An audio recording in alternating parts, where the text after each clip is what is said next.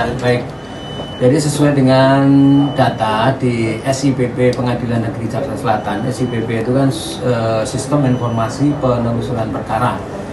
Eh, kita memang betul menerima eh, pendaftaran gugatan perdata, tapi gugatan gugatan sederhana ya.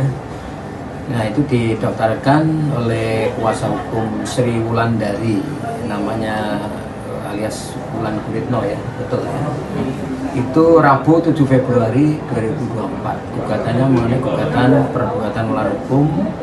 Nah sebagai pihak tergugatnya Sabda Sabda Yagra Aisyah nah kemudian oleh ketua pengadilan adalah karena ini gugatannya sederhana maka yang ditunjuk adalah hakim tunggal.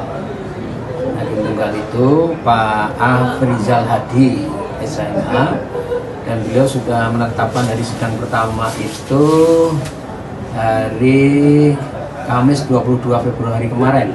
Oh, Jadi sudah. kemarin itu hari Kamis 22 Februari sudah sidang yang pertama.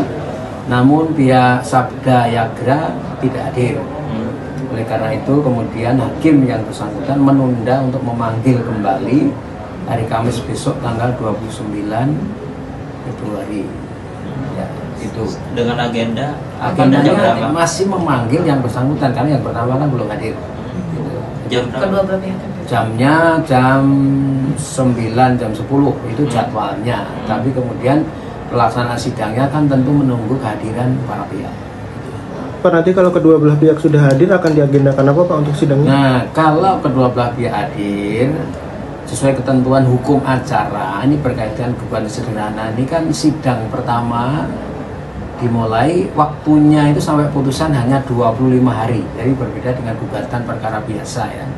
Sesuai dengan perma tentang gugatan sederhana itu hanya punya waktu 25 hari harus sudah putus. Makanya besok kalau penggugat dengan tergugat hadir maka eh, penggugat membacakan apa jawabannya eh, gugatannya. Kemudian eh, pihak tergugat akan diberi waktu oleh hakim yang bersangkutan untuk membuat jawaban. Me- apa, menyampaikan jawabannya. Dan oleh karena spare waktunya itu hanya 25 hari paling nanti jawaban hanya diberikan waktu tiga hari setelah pembacaan gugatan yang pertama. Itu oleh majelis seperti itu. Setelah itu ada pembuktian. Karena di dalam gugatan sederhana tidak ada replik publik tidak ada gitu, rekonvensi tidak